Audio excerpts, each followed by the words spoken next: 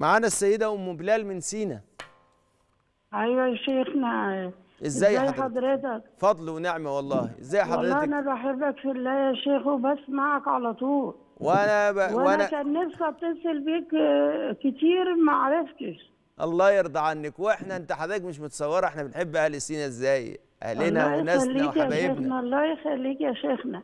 بص. يا شيخنا أنا أنا عندي سؤالين أنا عندي ثلاثة بس لو لسمح سؤالين ماشي. اتفضلي.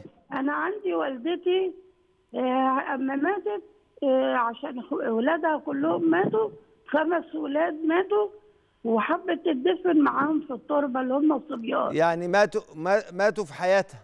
ماتوا في حياتها وزوجها مات في حياتها وهي صغيرة برضه. طيب فما حبت تدفن مع ابنها الكبير اللي هي بتحبه وابنها الصغير ده.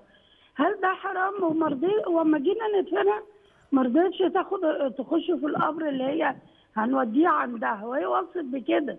طيب فما فضلت تحوط بال... بالنعشه كده ووقفت جنب ولادها. هل طيب. ده حرام؟ حاضر. ده السؤال الأولاني السؤال الثاني. بس خليني. خليني بس أسأل سؤال كده بسيط في الحكاية دي. هو إحنا آه. لما بندفنهم بنعمل فاصل بينهم وبن وبندفنهم في عين وعين ولا بندفنهم في نفس العين؟ لا دفنوها في نفس العين. هما في عينين بس هي ما, ما عايزة تدفن في العين بتاعت ولادها.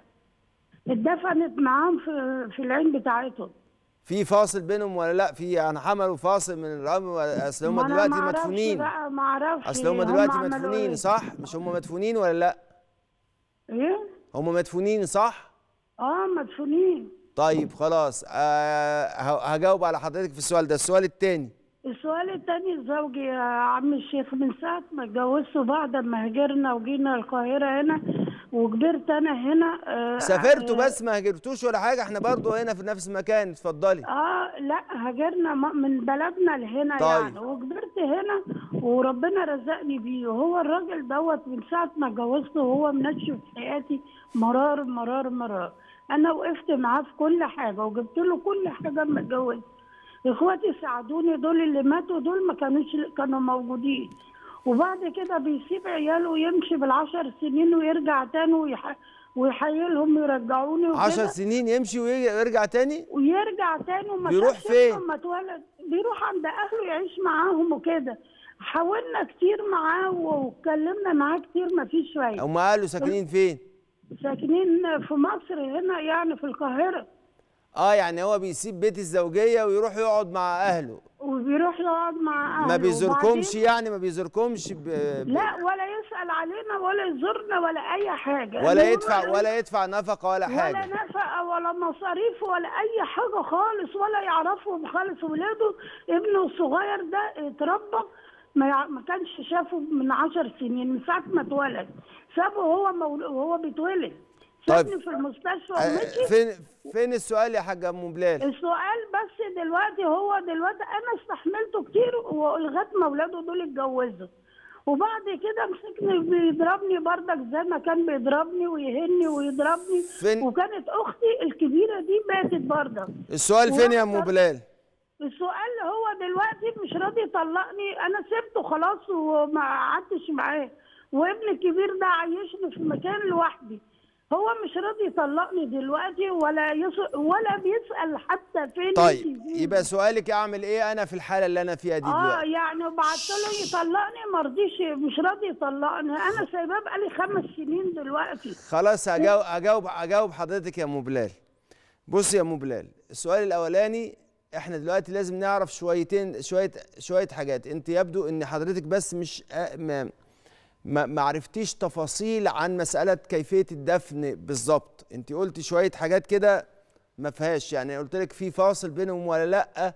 يعني أكيد مش هيدفنوا الناس على بعضها كده. أما وإنهم حصل الدفن ده إحنا مش هنلبش القبر ونطلع حد من العين. الأصل الأصل الأصل الشرعي إن يدفن الرجالة في عين والستات في عين.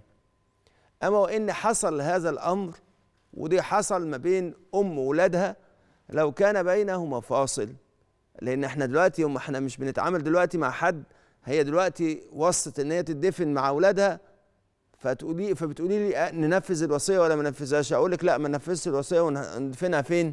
وندفعنها في عين مغايره ما أقول لك كده. لكن أما وإن إحنا خلاص ده حصل فيه الدفن لا نفس القبر أشد حرمة أشد صعوبة من إن إحنا نفصل منهم أما وإن بينهم فاصل إن الناس ما بيحطوش الناس لما بتدفن على بعضها فخلاص إحنا لا هننبش القبر ولا نخرجها ولا أي شيء وربنا إن شاء الله سبحانه وتعالى يتقبلهم ويجعلهم إن شاء الله في الصالحين ويغفر لهم ويوسع عليهم إن شاء الله في قبورهم ويجعلهم من السعداء في الدارين إن شاء الله. الحاجة الثانية بقى هو سؤال حضرتك تعملي إيه مع زوج حضرتك؟ هاتيه وتعالي لنا على مركز الإرشاد الزواجي في دار الإفتاء المصرية. لكن أنا لا يمكن مستحيل إن حد يجي يسألني بعد كل المشاكل اللي انت بتقولي عليها ديت واقول لك روحي اتطلقي لأن أنا ما سمعتش منه.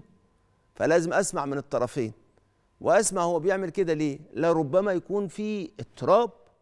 اضطراب في نفسه وقد يكون محتاج إنه يعمل كده. لربما في حاجة بتحصل هي اللي بتخلي الحياة بهذه بهذه الطريقة.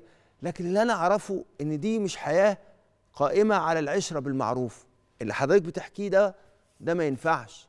ده ما يصحش. ده لا يجوز شرعا. لا يجوز إن الرجل يسيب بيته بالعشر سنوات وما يعرفش ولا ينفق على أولاده ده حرام. صحيح أنت هو ما هو بتقول إن ده حرام. أنا قلت إن ده حرام بس ما قلتش إن كل ما حاجة تتعمل حرام الناس تتطلق. لكن إذا حصل حرام الناس تتوب إلى الله ونصلح ذات البين عشان ربنا سبحانه وتعالى يكرمنا.